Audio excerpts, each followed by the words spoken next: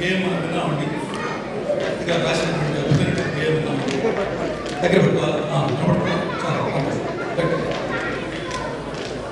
నాకు నాకు ఇచ్చినటువంటి రెండు నిమిషాల్లో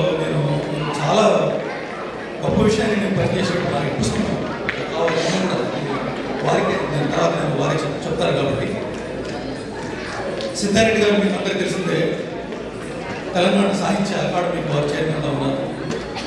అదేవిధంగా తెలంగాణ మహోద్యమంలో వారు చాలా ఉత్సాహం వారు వారు పాల్గొన్నారు. కేసీఆర్ కేసీఆర్ గారికి చాలా వాళ్ళు వారి యొక్క సలహాలు అందించారు వాళ్ళు.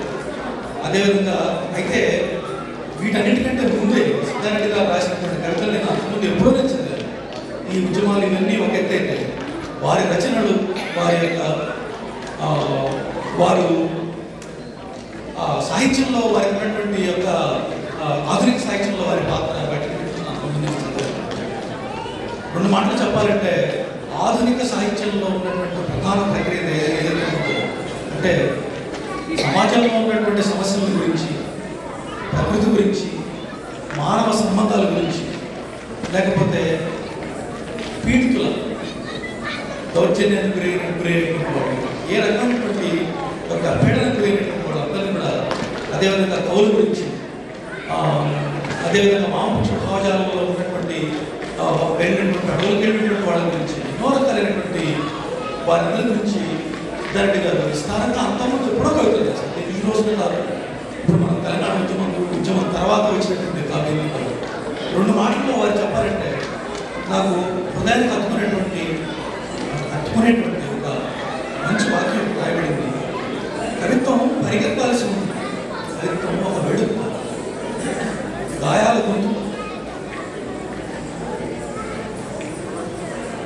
నెమలి పురివిప్పినట్టు మన గొంతు విప్పాల్సి ఎంత ప్రేమగానో ప్రాణంగానో తోడుకున్న చెరువులోంచి ఊపుకున్న కవిత్వం బూట మీద లాటి వేలాడుతుంది.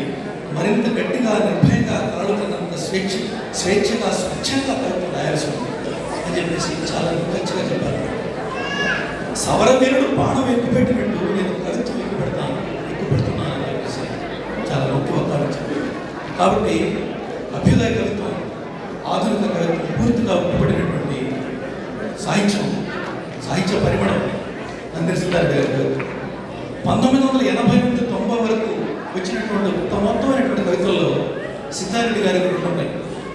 ఈ పుస్తక సంకలనంలో ఇంద్రగంటి శ్రీకాంత్ శర్మ మన గుంటూరు శేషాంత శర్మ గారు తర్వాత చాలా పెద్ద కవి అయినటువంటి కె శివారెడ్డి గారు అలా అటువంటి సినారీలు అటువంటి ఉత్తండ పండితులైనటువంటి కవితల కవితల సంకలనంలో వీరి రెండు కవితలు చోటు చేసుకున్నాయి. అదేవిధంగా తొంభై ఒకటి రెండు వేల రెండవ రెండు వేల వరకు వచ్చినటువంటి కవితా సంస్థలు కూడా వీరి కవితలు చోటు కాబట్టి ఒక సాహిత్య అకాడమీ చైర్మన్ అనేటువంటి ఒక విషయం అయితే సాహిత్యంలో వీరు చేసినటువంటి అపారమైన చాలా విస్తారమైనటువంటిది. మానవ సంబంధాల మీద ఆధునిక సమాజం మీద వాటికి జరుగుతున్నటువంటి దౌర్జన్యం మీద వాటిని రాసినటువంటి సుధారెడ్డి గారిని దయచేసి వేదిక మీదకి వచ్చి వారి సందేశాన్ని వినిపించాల్సిన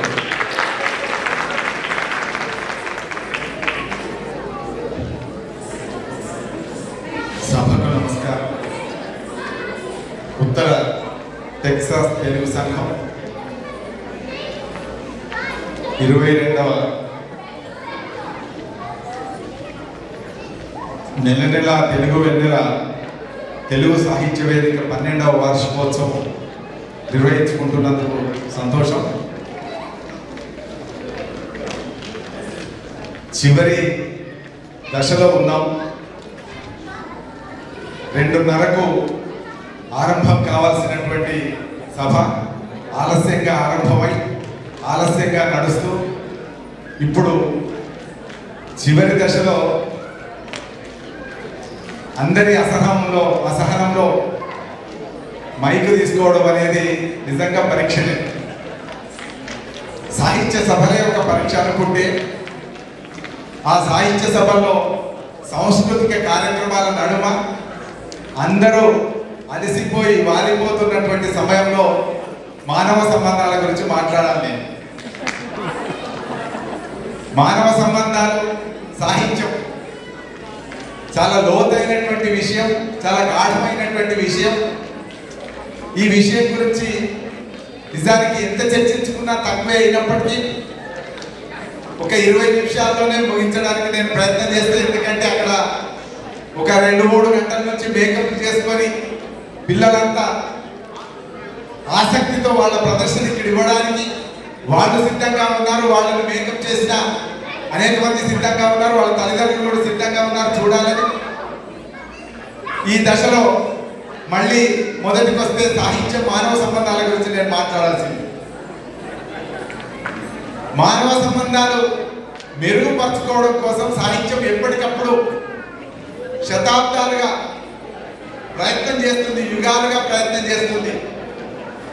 మనిషిని సంస్కరించడానికి మనిషి మనిషిగా మారడానికి మనిషిని మానవ విలువలతో సంస్కారంగా తీర్చిదిద్దడానికి సాహిత్యం నిరంతరమైనటువంటి కృషి చేస్తున్న విషయం మీ అందరికీ తెలిసిందే. సహితం సాహిత్యం అనేటువంటి మాటలు తీసుకుంటే హితం చేసేది సాహిత్యం అంటే ఏది హితం చేస్తుంది? మానవుడిని మానవుడిగా మార్చడం అనేది ఎవరు మారుస్తారు? అని అనుకున్నప్పుడు సాహిత్యం ఒక వాయిద్య సాహిత్యం ఒక సాధనం సాహిత్యం ఒక పరికరం. ఆ పరికరాన్ని మనం తీసుకొని మాట్లాడుకునేటప్పుడు రామాయణ కాలం తొలి కావ్యం ఆది కావ్యం రామాయణం అని అనుకుంటే ఆనాటి నుంచి ఇవాళ వరకు మల్లీశ్వరి రాసిన నీల వరకు తప్పనిసరిగా సాహిత్యం మానవ సంబంధాల చుట్టే తిరుగుతున్నది. మానవ సంబంధాల చుట్టూ తిరుగుతున్నప్పటికీ మనిషి మనిషిగా నిలబడడం చాలా కష్టంగా ఉంది. గాలి పట్టాడు మీకు అందరికీ తెలిసిందే ప్రతిదీ సులభముగా సాధ్యపడదులేము నరుడు నరుడవుగా దుష్కరము సుమ్ము. దాశరథి అనువాదం చేశాడు. ఏంటి ఇంత చేస్తే మూడు వేల సంవత్సరాల నుంచి నాలుగు వేల సంవత్సరాల నుంచి ఏ మార్పు మనం కోరుకున్నదంటే మనిషి మనిషి కావాలి మనిషి ఇంకొక మనిషితో మానవ సంబంధంతో ఉండాలి మనుషుల మధ్యలో వచ్చేటటువంటి సంబంధాలు చాలా యుగాలుగా మారుతూ వస్తున్నాయి మనందరికీ తెలిసిందే. రామాయణం ఎందుకు మూడు వేల సంవత్సరాల నుంచి నిలబడి ఉన్నది అని అంటే మానవ సంబంధాలు అందులో చెప్పినంత బలంగా ఇవాళకి కూడా అంత బలమైనటువంటి సంబంధాలు లేని పరిస్థితి వాళ్ళకి కూడా ఉంది. అందుకే రాముడు ఇప్పటికీ ఆదర్శమే. రామాయణంలో ఉండే ప్రతి మానవ సంబంధం ఇప్పటికీ ఆదర్శమే. ఏమైంది మరి మనుషుల మధ్యన అంటే మనిషి మనిషిగా ఉండడానికి మధ్యన చాలా విషయాలు ముందుకొస్తుంటాయి చాలా సంబంధాలు ముందుకు వస్తుంటాయి మొత్తం సాహిత్యం అంతా మనం విశ్లేషిస్తే మూడు సంబంధాలుగా కనిపిస్తుంది. మొదటిది ఎక్కువ సాహిత్యం అంతా కూడా సాహిత్యంలో ప్రధాన భాగం అంతా దైవ సంబంధమైనటువంటి సాహిత్యం ఒకటైతే ప్రకృతి సంబంధమైనటువంటి సాహిత్యం రెండవదైతే మానవ సంబంధమైనటువంటి సాహిత్యం మూడవది. ఈ మూడు కూడా ఎవరి కోసం అంటే మనిషి కోసమే మళ్ళీ. ప్రకృతి మనిషి కోసమే దేవుడు కూడా మనిషి కోసమే మనిషి కూడా మనిషి కోసమే. ఇవన్నీ ఇంతకాలం నుంచి ఇన్ని పుస్తకాలు ఇన్ని వేల గ్రంథాలు ఇన్ని వేల మంది రచయితలు ఇన్ని భాషల్లో ప్రయత్నం చేస్తుంటే ఇవాళకి కూడా మళ్ళా మనిషి మనిషిగా జీవించడం సాధ్యం కానటువంటి పరిస్థితి ఉంది. అందుకని ఈ మధ్య కాలంలో రాసినటువంటి పాటలు మనం గమనించి చూసినా మాయమైపోతున్నాడమ్మా మనిషన్న వాడు అని అందే తిరిగి రాశాడు ఎటు పోతున్నాడు మాయమై?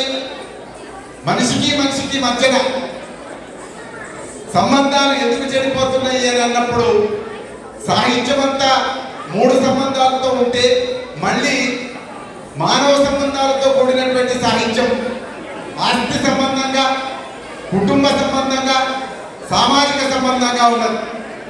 మీ నాట్యం మేము చూస్తాం కానీ మీరు కూర్చోవాలమ్మా. అమ్మా వాళ్ళని తీసుకొచ్చిన గురువులారా వాళ్ళ తల్లిదండ్రులారా ఉత్తర టెక్సాస్ సంఘం నిర్వాహకులారా మీరందరూ ఆ అమ్మాయిని సెల్ఫీ సెల్ఫీ తీసుకోవడంలో మునిగిపోతే ఇంకా ఆలస్యమైతే తప్ప ఏం కాదు. నిర్వాహకులు పదిహేను మంది ఉన్నారా ఇరవై మంది ఉన్నారా అనేటువంటిది కాకుండా వాళ్ళని ఇక్కడ కూర్చుంటబెట్టి వాళ్ళ ఒక పక్కన గజ్జల తప్పుడుతో అడుగుల తప్పుడుతో ఆసక్తితో ఉన్నటువంటి దశలో మరి వాళ్ళ గురువులు కూడా ఇటు రావాలో అటు రావాలో తెలియనటువంటి దశలో ఉన్నప్పుడు సాహిత్యానికి సంగీతానికి నాట్యానికి ఉండాల్సిన ఒక సంబంధం కరువవుతున్నటువంటి దశ నాకు ఇక్కడ కనబడుతుంది. సాహిత్యం ఏంటిది? సంగీతంతో సంగీతం ఈ మూడు కలిగితే దేనితో ముడిపడి ఉంటుంది? మనిషితో ముడిపడి ఉంటుంది. ఇవన్నీ కూడా మళ్ళీ మనిషే ఉండాలి. ఇవన్నిటిని ఎంకరేజ్ చేసేది ప్రోత్సహించేది మనిషి. కనుక మనిషి మానవ సంబంధాన్ని కొనసాగించాలంటే ఇన్ని కళలు లలిత కళలన్నీ చుట్టూ ఉన్నా కూడా మనిషి మళ్ళా మనిషిగా మారడం అనేటువంటిది కష్టంగా ఉంది.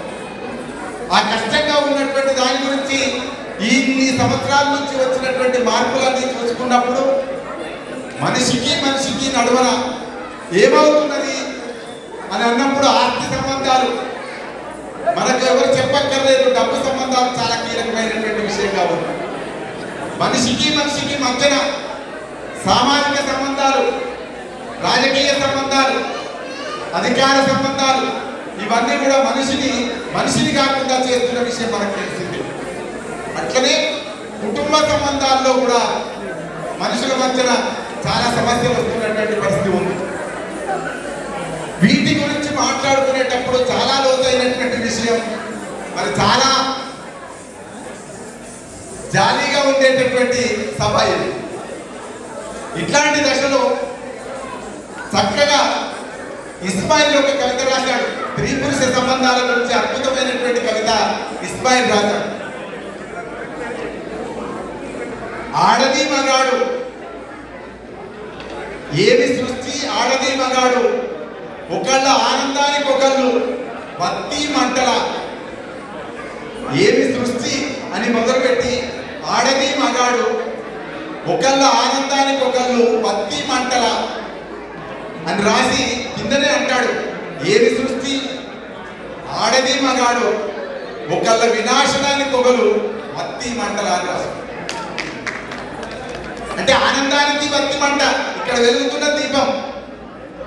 ఆ దీపంతో వెలుగు వస్తుంది. ఆ వత్తి ఆ దీపంతో వెలుగు కూడా వస్తుంది. ఆనందం కూడా వస్తుంది.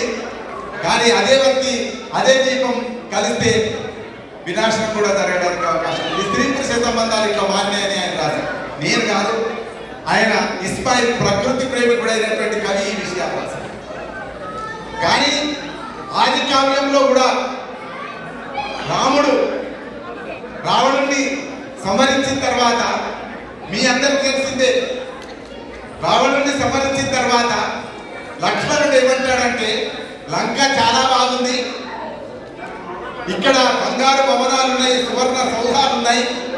ఆకాశాన్ని తాగే తాకేటటువంటి అతి ఎత్తైనటువంటి భవనాలు ఉన్నాయి. చాలా సుఖంగా ఉంటే ఇక్కడ ఉండడానికి అవకాశం ఉంది. ఇక్కడే ఉందాము అని చెప్పి లక్ష్మణుడు అడుగుతాడు. లంక అంత సుందరమైన నగరం మరొకటి లేదు కనుక ఇక్కడనే ఉందామంటే రాముడు ఏమంటాడంటే భవనాల కంటే బంగారం కంటే మనుషులు గొప్ప అయోధ్యలో మానవులు ఉన్నారు మానవుల ప్రేమల కోసమైనా మనం అయోధ్యకు వెళ్ళాలి అనే అర్థంలోనే జననీ జన్మస్థ స్వర్గాదపి కరీయసి అని చెప్పి ఆయన రాసిన అప్పుడు అన్నటువంటి విషయం అని చెప్తాను అంటే మనుషుల్ని చేరుకోవడానికి మనుషుల్ని కలుసుకోవడానికి మానవ సంబంధాల్లో ఉండేటటువంటి ఒక ఆనందాన్ని అనుభవించడానికి రాముడు లంకా నగరాన్ని విడిచిపెట్టి భవనాన్ని విడిచిపెట్టి ఇక్కడికి వచ్చాడని అట్లాంటి ఒక దశ నుంచి మనం ఈ శ్లోకాన్ని చాలాసార్లు చెప్పుకుంటాం. అట్లాంటి దశ నుంచి మూడు వేల సంవత్సరాలుగా ప్రయత్నం చేస్తున్న మళ్ళా ఇవాళ మనుషుల మధ్యన స్వచ్ఛమైనటువంటి ప్రేమలు కానీ ఆత్మీయతలు కానీ లేనటువంటి పరిస్థితులు.